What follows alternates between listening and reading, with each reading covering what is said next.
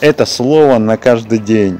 Псалом 117 с 28 и 29 стих говорит, «Ты, Бог мой, буду славить Тебя, Ты, Бог мой, буду превозносить Тебя, славьте Господа, ибо Он благ, ибо вовек милость Его, как прекрасно эти слова в сердце отзываются радостью и хвалой. Я тоже буду славить Господа Христа. Я тоже каждый миг каждый час и каждый день и каждую ночь буду славить Тебя, Господь, потому что Ты один достоин славы, ибо на Тебя надежда моя и упование мое. Я буду превозносить Тебя во веки, милость Твоя, я принял ее, я теперь помилован, я теперь оправдан, я теперь искуплен.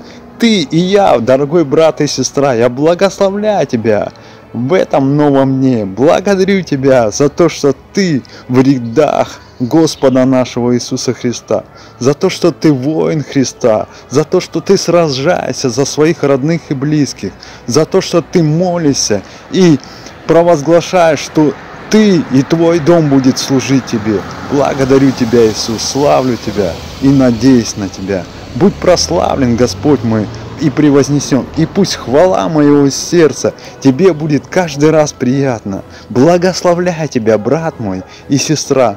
Благодарю тебя, что ты верный, верный Господу, верный своему обещанию в день крещения, когда ты обещал Богу служить доброй совестью.